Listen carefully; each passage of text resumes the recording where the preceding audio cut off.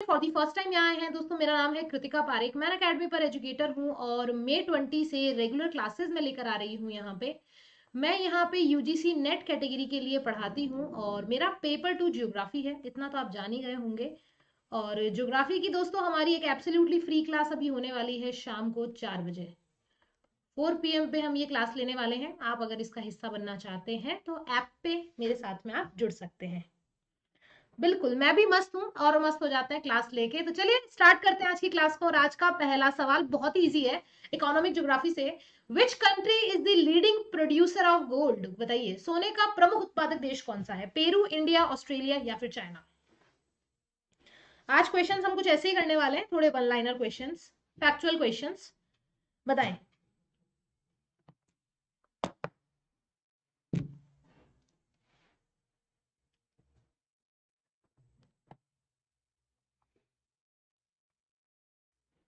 सही आंसर है option number D. देखिए, नंबर वन पे तो चाइना है, उसके बाद में रशिया देन ऑस्ट्रेलिया। ठीक है तो हमारा आंसर होगा ऑप्शन नंबर डी। फिर आएगा आपका United States, America then Canada, Peru, Ghana, South Africa, Mexico, Brazil. Bharat नहीं है इसके अंदर मेजरली लगभग लगभग सारी कंट्रीज़ आ गई हैं। चाइना से लेकिन हम इसकी स्टार्टिंग करते हैं। Option number D is the right answer अगला सवाल है match the list and list two एक तरफ़ है मिनरल ऑर्ड्स और दूसरी तरफ़ है उनके मिनरल मतलब खनिज अयस्क और खनिजों से मैच करिए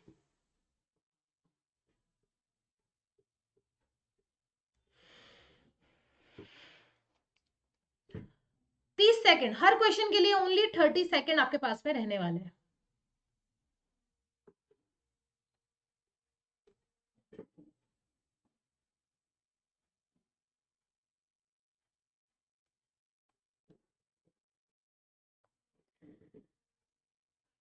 Chalcopyrite, limonite, moscovite and bauxite, mica, iron, aluminium and copper.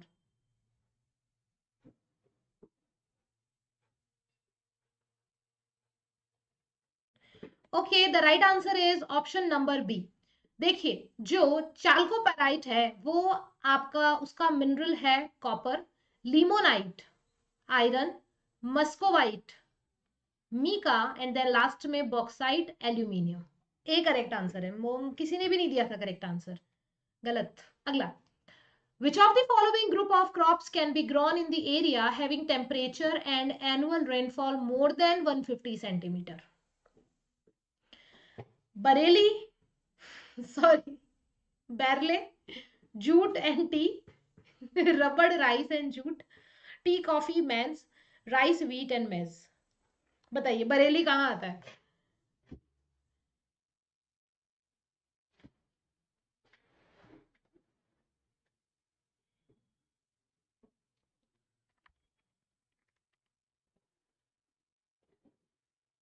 आप बोल रहे हैं option number B absolutely correct क्योंकि हमें वन वन फिफ्टी सेंटीमीटर चाहिए। 150 सीएम चाहिए तो आप देखेंगे कि जो जौ है जौ राजस्थान में भी हो जाता है, और राजस्थान में रेनफॉल एवरेज 50 सेंटीमीटर होती है। ठीक है? जौ आ गया, मक्का और मक्का। सिर्फ़ और सिर्फ़ रबड़, चावल और जूट ऐसी फ़सल है, जिन्हें एटलीस्ट 150 सेंटीमीटर से प्लस रेनफॉल की ज़रूरत पड़ती है। अच्छी बात है, अगला सवाल देखते हैं जल्दी से। Which mineral is known as a black diamond अच्छा किस खनिज को काला हीरा कहा जाता है? Copper coal petroleum and manganese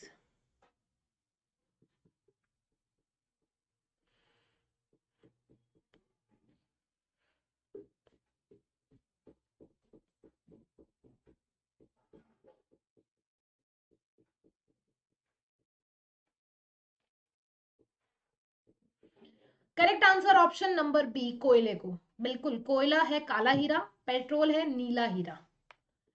The biggest coal reserve in the world is विश्व का सबसे बड़ा कोयला भंडार कहाँ है? रशिया, चाइना यूएसए या फिर इंडिया?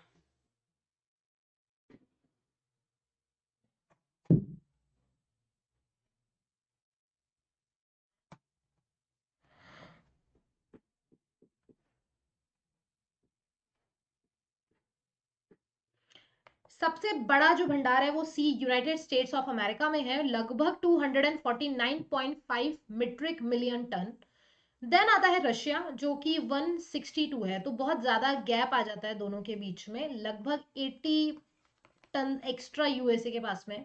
देन आता है ऑस्ट्रेलिया 149.1 इसके बाद में चाइना 141 एंड देन इंडिया 105 आप देखेंगे कि रैंकिंग में ठीक है, इंडिया है नंबर फाइव पे, लेकिन जो गैप है वो बहुत ज़्यादा है। इवन फ़र्स्ट एंड सेकंड के बीच में ही 80 मीट्रिक टन का गैप है, जो इंडोनेशिया में इंडोनेशिया के टोटल का भी डबल है।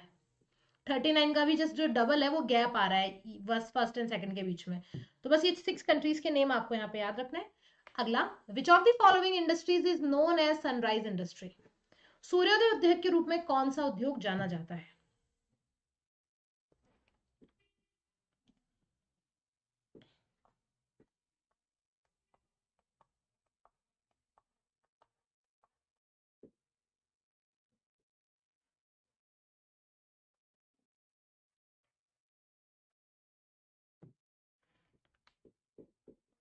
करेक्ट आंसर है information technology not iron and steel industry iron और स्टील इंडस्ट्री जो है, वो तो बेस इंडस्ट्री मानी जाती है, क्योंकि लोहे से ही बाकी सारी इंडस्ट्रीज़ की शुरुआत होती है।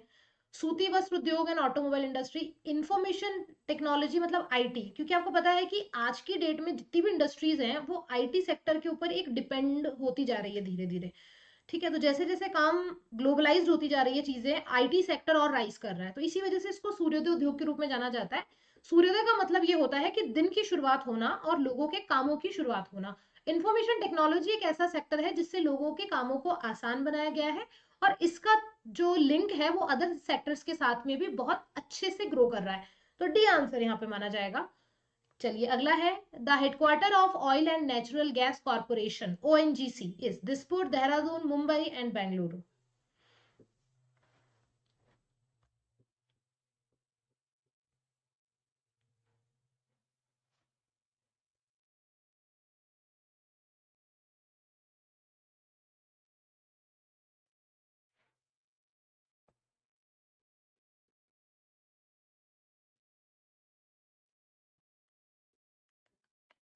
जी नहीं आंसर होगा ऑप्शन नंबर बी देहरादून। देखो, इसका जो हेडक्वार्टर है oil and natural gas corporation का, वो एक Indian multi oil and gas company headquarter इसका देहरादून के अंदर है। आज की डेट में, अभी दीनदयाल ऊर्जा भवन, वसंत कुंज न्यू दिल्ली के अंदर इसका एक ऑफ़िस रजिस्टर्ड भी किया गया है। तो हेडक्वार्टर की जहाँ बात आती है, वो देहरादून में है और ऑफ़िस जो है, वो इसका दीनदयाल ऊर्जा भवन, वसंत कुंज न्यू दिल्ली में है। नेक्स्ट व्हाट इज़ सागर सम्राट एंड सागर विकास सागर सम्राट और सागर विकास क्या है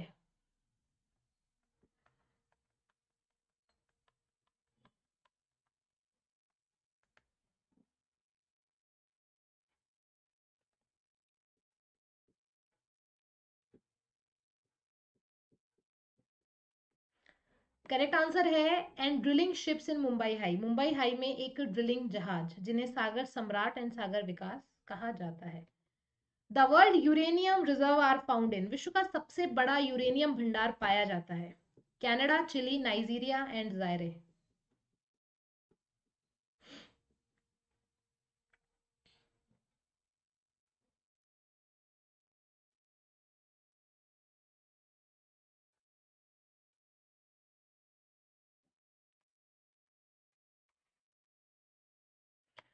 correct answer है ऑप्शन नंबर एक कनाडा में। वैसे देखा जाए तो ऑस्ट्रेलिया में सबसे ज़्यादा है, लेकिन उसके बाद में Kazakhstan and then third number पर आता है कैनेडा। आज भी यही डेटा काम कर रहा है सेम डेटा है। ऑस्ट्रेलिया है नंबर वन पे, जो कि लगभग सत्रह लाख अस्सी हज़ार आठ सौ टन है। देन कजाकिस्तान नौ लाख इकतालीस हज़ार एंड देन एंड कैनेडा सात लाख। फ़र्स्ट एंड सेकंड में वेरिएशन बहुत ज़्यादा है। इसके बाद में South Africa and then Russia. अगला which country is the leading rubber producing country अग्रणी रबड़ उत्पादक देश कौन सा है? Indonesia, Malaysia, Thailand and Peru.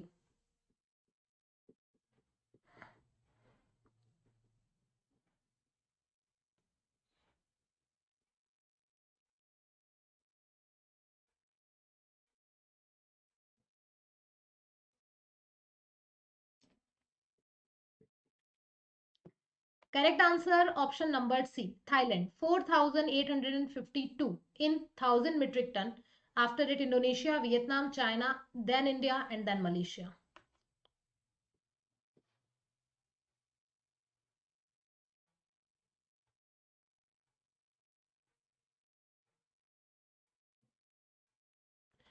Agla, which of the following occupation is classified as a tertiary activity?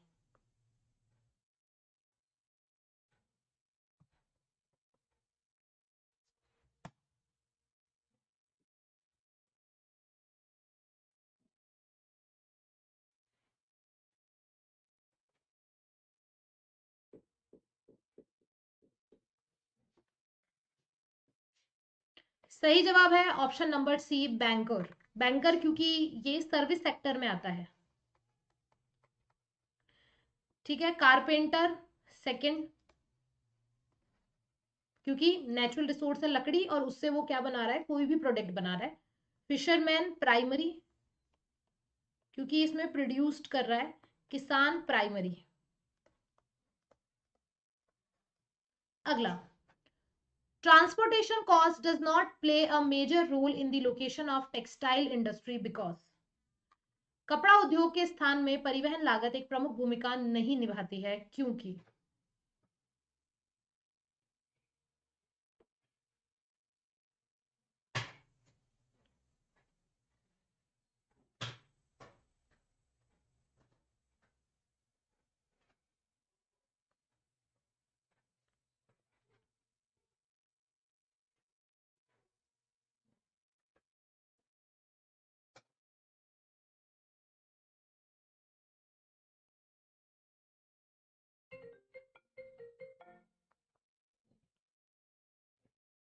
correct answer option number C cotton is a pure material more or less equal to finished product परिवहन लागत भूमिका यहाँ पे इसलिए नहीं निभा रही है क्योंकि कॉटन जो है, इसका एमआई होता है ज़ीरो मतलब मटीरियल इंडेक्स इसका ज़ीरो होता है क्योंकि इसमें जो रॉ मटीरियल होता है, उसका वेट और जो फाइनल प्रोडक्ट होता है, उसका वेट इक्वल होता है।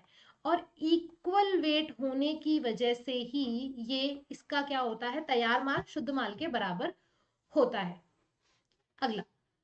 Weber material index refer to ratio between चलिए, बता दीजिए। हाय हर्षिता हेलो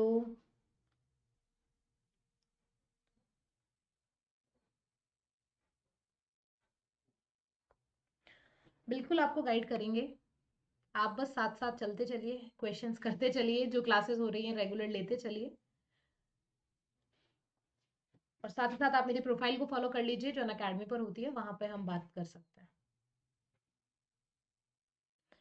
सही जवाब होगा ऑप्शन नंबर डी अभी जस्ट थोड़ी देर पहले मैंने बताया था एम आई क्या रेफर करता है? Not the cost of raw material and cost of production weight of raw material and weight of final product for example इनमें मैंने हमेशा से ही आपको बताया था।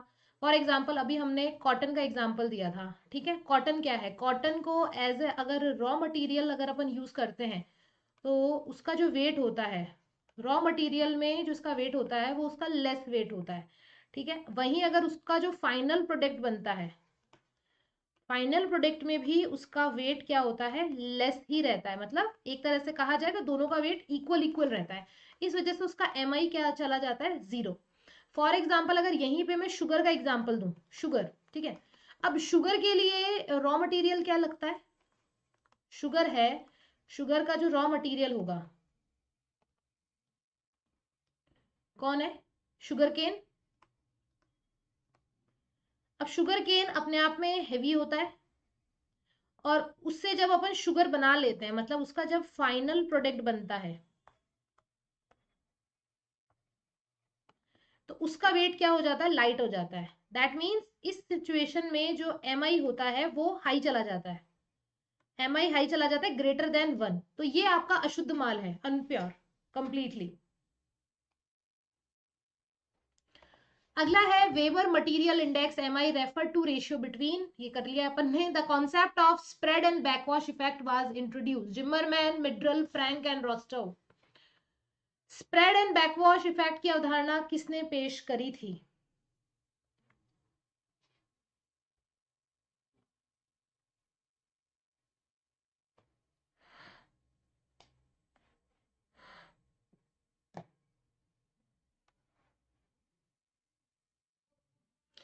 सही जवाब है option number B, Gunnar Myrdal ने 1956 में।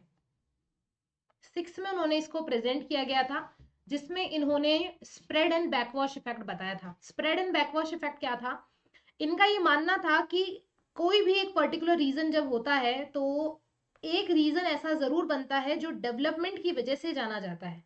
ठीक है? तो मान लो कि ये एक सेंटर पॉइंट बन गया है तो अब यहाँ से लेबर का, पूंजी का और जो रिसोर्सेज है उनका क्या होगा? शिफ्ट होगा। तो ये एक तरीके से कौन से जगह मानी जाएगी? ये पिछड़ी जगह मानी जाएगी और ये वाली जो जगह है ये होगी विकसित जगह। ठीक है? इसको हमने क्या नाम दे दिया? बैकवॉश इफ़ेक्ट इससे क्या बढ़ी है? जो इकोनॉमिक uh, डिस्पैरिटी थी आर्थिक विषमता वो बढ़ी है। क्योंकि ये क्षेत्र जो पिछड़े थे वो और पिछड़े रह गए और ये क्षेत्र अच्छे से डेवलप हो गया। सम टाइम बाद आफ्टर सम टाइम ये होता है कि जो ये जगह होती है, ये अपने आप में इतनी ज़्यादा डेवलप्ड हो जाती है कि फिर ये ज़्यादा जो भार होता है, चाहे वो जनसंख्या का भार हो सर्विस का भार हो, वो ज़्यादा झेल नहीं पाती है। फिर बाद में ये इन ग्रामीण क्षेत्रों की तरफ़ फिर से अपना प्रसार करने लगती है। इस इफ़ेक्ट को कहा जाता है कौन सा? स्प्रेड इफ़ेक्ट तो ये तो था बैकवॉश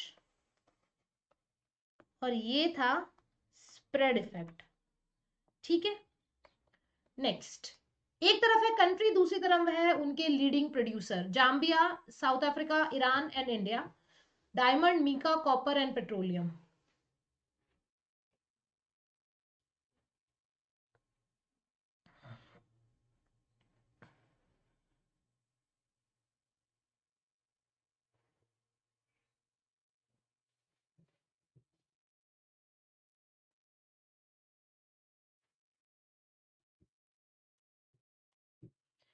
correct answer है ऑप्शन नंबर बी। देखो, कॉपर के प्रोडक्शन में Chile, Peru, China, USA. Diamond के प्रोडक्शन में Russia, Botswana, Australia and Democratic Republic Congo. Petroleum में US, Russia, Saudi Arabia, Canada and mica में रशिया, चाइना, फिनलैंड, इंडिया। अपने लिए तो इंडिया इंपॉर्टेंट है, क्योंकि मीका के प्रोडक्शन में इंडिया का अच्छा खासा कंट्रीब्यूशन है। नेक्स्ट है which of the following is a footloose industry कौन सी एक फुटलूज इंडस्ट्री है? चाइना शुगर चीनी कॉटन टेक्सटाइल सीमेंट या iron and steel industry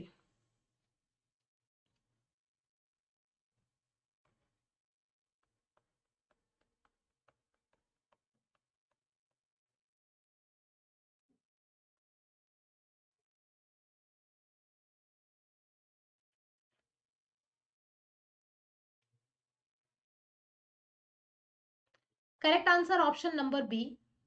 Footloose industry generally वो इंडस्ट्री होती है जो अपने आसपास की लोकेशन से प्रभावित हुए बगैर वहाँ लग जाए। उसकी डिपेंडेंसी अपने आसपास के किसी भी मटेरियल पर ना हो। फॉर एग्ज़ाम्पल जैसे कंप्यूटर चिप्स मैन्युफैक्चरिंग है, उसके लिए लेबर की या आसपास के जो रीजनल फैक्टर है, उसकी ज़रूरत नहीं है। वो कहीं पे भी एस्टेब्लिश हो सकती है। डायमंड मैन्युफैक्चरिंग है स्मार्टफोन्स है कॉटन टेक्सटाइल है।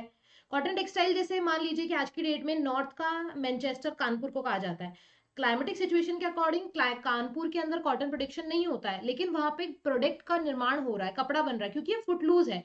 और देखा जाए तो कॉटन के ट्रांसपोर्टेशन की कॉस्ट भी कम आती है, क्योंकि उसका एम जो है वो ज़ीरो है। एम ज़ीरो होने की वजह से ये ईजी रहता है उनके लिए। तो इसे हम कहते हैं फुट लूज इंडस्ट्री मतलब जूता उठाओ और काम पे लग जाओ। Next है the intensive cultivation of vegetables, fruits and flower in the periphery of cities in USA is called. शहरों की परिधि में सब्जियों फलों और फूलों की सघन खेती यूएसए में क्या कहलाती है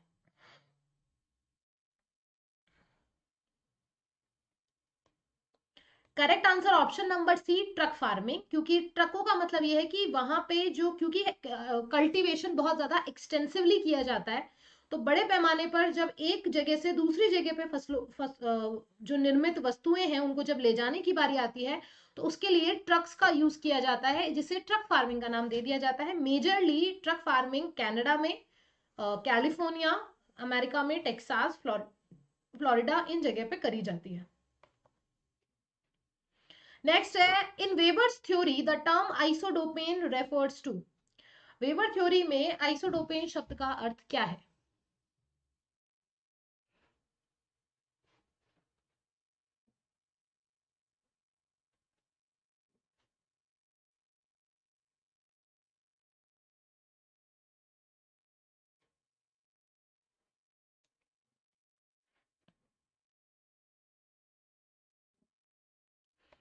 Correct answer option number D that uh, isodopane is a similar term to the geographical counter line. It was introduced by Alfred Weber. It means equal additional transportation cost used in industrial and economic geography. ये Alfred Weber ने जब अपनी study करी थी उसमें उन्होंने ये बताया था आइसोडोपेन एंड आइसोटिम का कॉन्सेप्ट दिया था Who among the following developed the sequential expansion of transport network model? परिवहन नेटवर्क के क्रमिक विस्तार का विकास किसने प्रस्तुत किया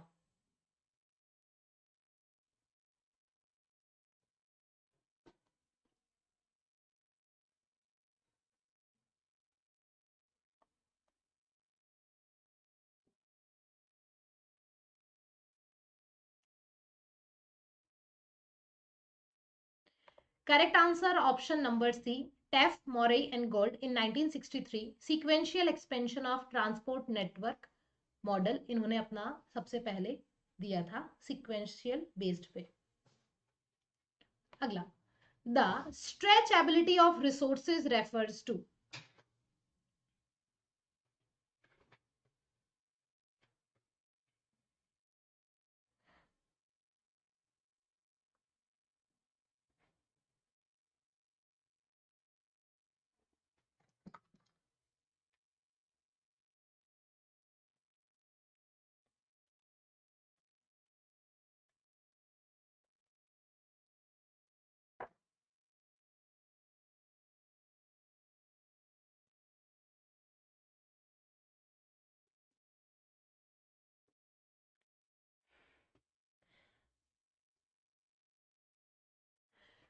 correct answer option number D देखिए स्ट्रेचिंग का मतलब होता है खींचना, ठीक है?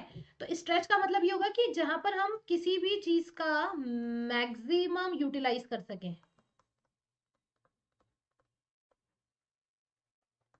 ठीक है?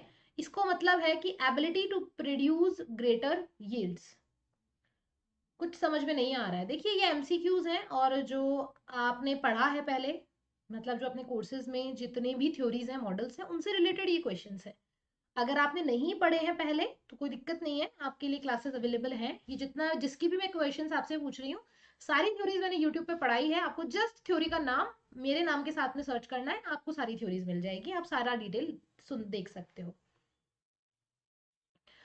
Farm factory farming is the characteristic of कहाँ की विशेषता है factory farming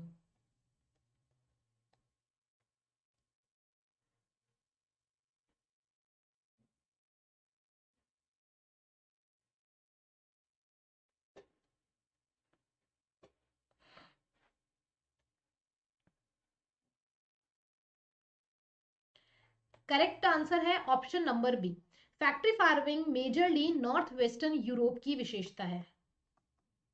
north west Europe इसका मतलब फैक्ट्री फ़ार्मिंग का मतलब ये है कि जिसमें मीट का प्रोडक्शन किया जाता है और उसी प्रोडक्शन को अलग अलग कंट्रीज़ में एक्सपोर्ट कर दिया जाता है।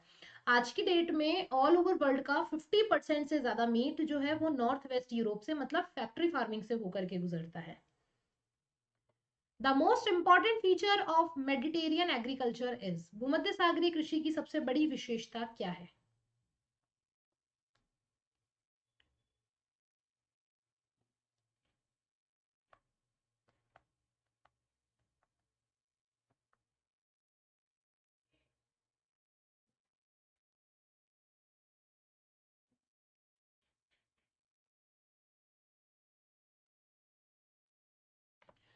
सी करेक्ट आंसर है इसका विटिकल्चर मतलब अंगूर की खेती। वैसे तो कंप्लीट मेडिटेरियन को बास्केट ऑफ़ फ्रूट्स कहा जाता है, लेकिन अंगूर की खेती यहाँ पे ज़्यादा की जाती है। मेजरली जो सिट्रिक फ्रूट्स होते हैं, चाहे वो ग्रैप्स हो ऑरेंजेस हो, वो ज़्यादा यहाँ करे जाते हैं, क्योंकि वहाँ के उन सारी फ़सलों के अकॉर्डिंग वहाँ पे सॉइल टेम्परेचर एंड ह्यूमिडिटी रहती है।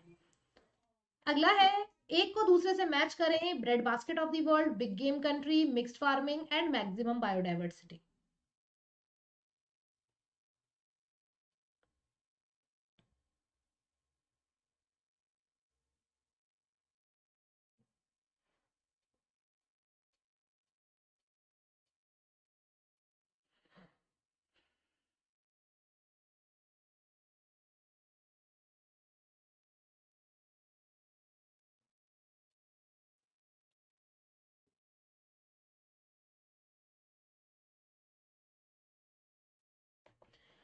C correct answer होगा इसका, आप ये जान लीजिए।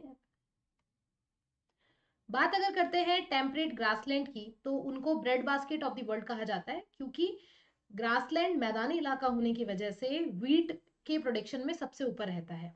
So the bread basket of Europe Ukraine is known as the bread basket of Europe along with USA and Australia is one of the world top wheat exporters बाद में बात करते हैं सवाना एंड ट्रॉपिकल ग्रासलैंड की। Tropical, temperate grassland bread basket में जानते हैं और जो ट्रॉपिकल ग्रासलैंड है वो बिग गेम कंट्री या लैंड ऑफ़ सफारी भी कहा जाता है, इन्हें सुडान या सवाना टाइप के नाम से भी जाना जाता है। ट्रॉपिकल ग्रासलैंड मेजरली ट्रॉपिकल इलाका या नियर टू इक्वेटर होते हैं, जो कि Tropic of Cancer and Tropic of Capricorn के बीच का इलाका होता है। ये ज़्यादातर अपनी बायोडाइवर्सिटी के लिए जाने जाते हैं। इसके बाद में आपके आती है मिक्स्ड फ़ार्मिंग ये भी एक फ़ार्मिंग का प्रकार है, जिसमें फ़ार्मिंग के साथ साथ लाइफ स्टॉक फ़ार्मिंग भी करी जाती है मतलब पशुओं को भी पाला जाता है. इसके अंदर majorly India Malaysia Indonesia Afghanistan South Africa Chile Europe Canada ये सारी कंट्रीज़ आती हैं मेजरली नेक्स्ट है for his model of industrial location Weber make use of isogon isotim isophase isophanes and isotachs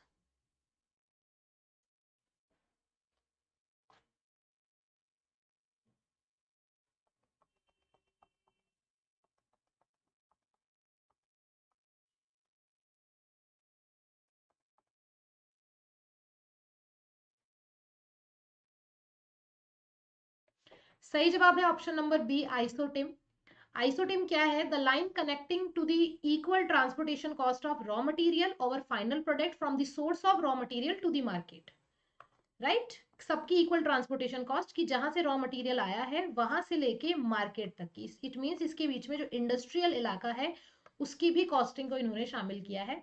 और आइसोडोपेन्स क्या होती है? The line connecting with equal total transportation cost raw material and final product it's call isodapane that means isotim and isodapane को मिलाने वाली line है ये। Next है location of sugar industry in India is shifting from north to south because of Bharat में चीनी उद्योग उत्तर से दक्षिण की ओर स्थापित हो रहा है, इसका कारण क्या है?